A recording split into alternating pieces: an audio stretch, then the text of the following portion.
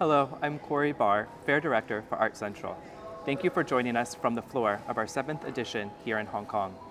A particular highlight of each year's fair are a curated group of large-scale artworks under the title Yitai Sculpture and Installation Projects. Yitai is an age-old term used in reference to the adaptation of Chinese written language over many centuries. In modern usage, Yitai connotes something unusual, surprising, or even alien, or literally other body. The multifaceted nature of this Chinese term allows for continual reinterpretation as each edition of the fair unfolds. I'd like to introduce you now to Qu Chang, the 2022 Curatorial Director of Art Central, with an introduction to this year's Yitai Sculpture and Installation Projects. Welcome, Chang.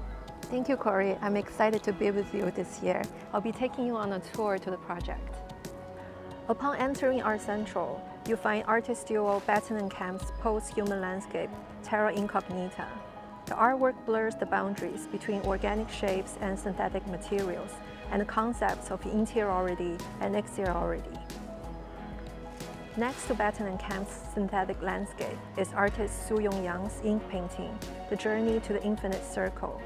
Using traditional ink art techniques, it brings forward a poetic storyline that connects the circle of life and death.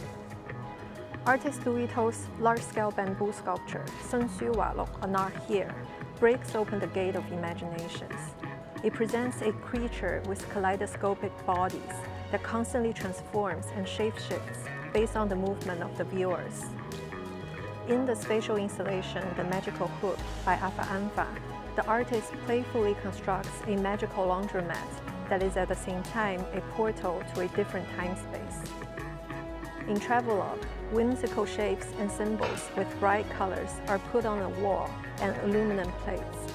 Artist Bing Li presents one of the newest editions of his iconic Picto Diary, which encodes and enlivens the daily practice of diary writing.